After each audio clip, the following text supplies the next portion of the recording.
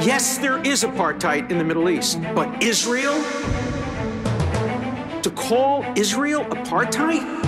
ראשון, They fire their anti personnel rockets from behind human shields. Should I be sending them food? Should I be sending them supplies?